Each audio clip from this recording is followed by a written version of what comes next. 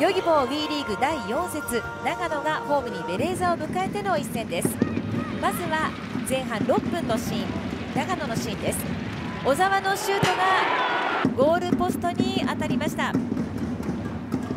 これね決めてたらまた違った展開になったかもしれないですね。はい。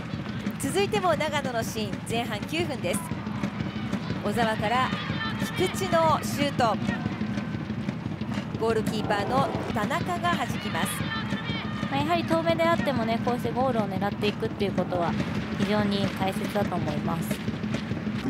続いては前半18分ベレーザのシーンです。コーナーキックから。これしっかりね宮川選手がボールに反応しましたけどキーパーもいいセーブでしたね。はい。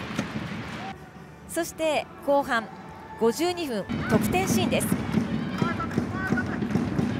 藤野に入ったボールそのままクロスを打つかと思いましたが木下からパスを受けて藤野がゴールを決めました。いやラッキーゴールではないですね。ちゃんと狙ったって言ってましたもんね。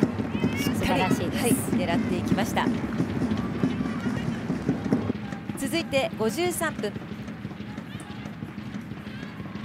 こちらは長野のシーンです、まあ、失点してすぐだったのでまあここもね決めてたらですけどまあねなかなかゴールは遠かったですね、はい、そして60分ベレーザシュートシーンです。ゴールシーンです。植木のシュートで2点目が入りましたこれ村松選手からのフィードが素晴らしいですね。そして冷静に決めるさすがストライカーです。2022-23ユギボー WE リーグ第4節長野と日テレ東京ベルティベレーザの試合は2対0でベレーザが勝利しました。